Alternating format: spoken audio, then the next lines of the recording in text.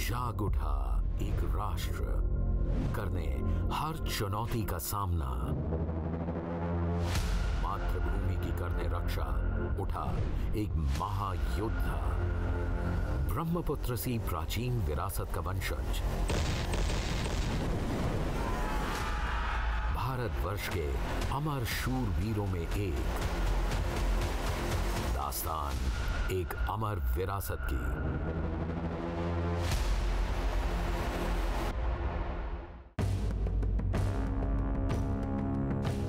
असम पूर्वोत्तर का प्रवेश द्वार प्राकृतिक सौंदर्य से भरपूर जहाँ बसता है ब्रह्मपुत्र का सबसे भव्य रूप। रामायण और महाभारत की सचित्र पांडुलिपियाँ जो सत्रहवीं शताब्दी के जोरहाट में पेड़ की छाल पर पाई गईं, असम के प्राचीन प्राग ज्योतिषपुरा होने का सशक्त प्रमाण है। असम कभी महान कामरूप का कण था।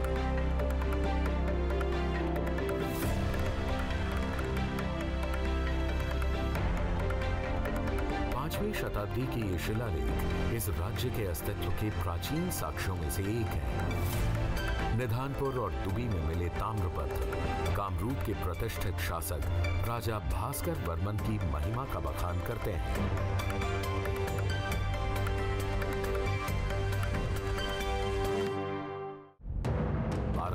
बारह शूरवीर राजकुमार सुकफा ने ब्रह्मपुत्र की घाटियों में प्रवेश किया। अहोम वंश की स्थापना के लिए।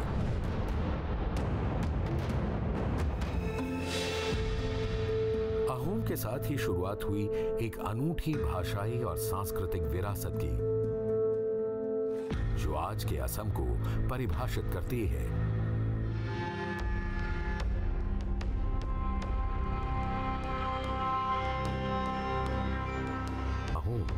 अपने पूरे इतिहास के दौरान पश्चिमी खतरों से लोहा लेता रहा है गौरवान्वित और अपराजित।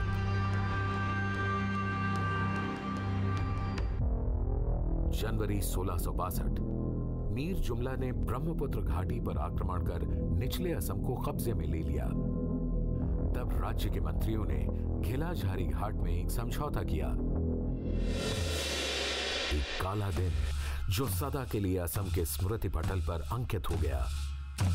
जिसने 400 साल पुराने राजवंश की जड़ें हिलाकर रख दी। एक अपमानजनक समझौता। अहोम खजाने को कंगाल बनाने के लिए थोपी गई शर्तें। लेकिन वो यहीं नहीं रुके।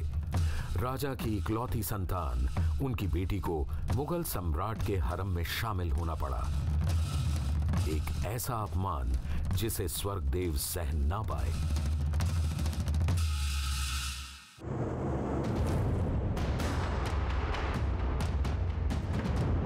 नवंबर सोलह नए स्वर्गदेव चक्रध्वज सिंहा ने गद्दी संभाली। लक्ष्य केवल एक, मातृभूमि की आज़ादी, अहोम गौरव की पुनः स्थापना। लेकिन यह काम इतना आसान नहीं था। कौन करेगा?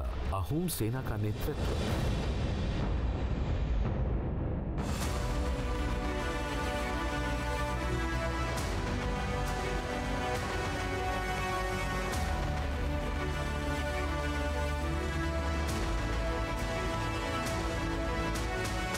अपने गौरव, राष्ट्र और स्वर्ग देव के लिए मर मिटने को तैयार एक योद्धा।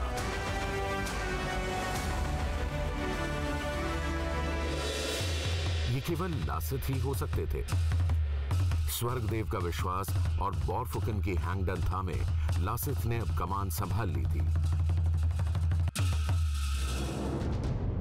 सराय घाट सोलह सौ इकहत्तर। चार साल की लंबी तैयारियों का निर्णायक क्षण आ चुका है। अपने बोर फुकन के साथ कंधे से कंधा मिलाकर, दोनों किनारों पर सैन्य बेड़ों के साथ आने से नावों की एक दीवार सी बन गई। लगातार तोपें दागते हुए।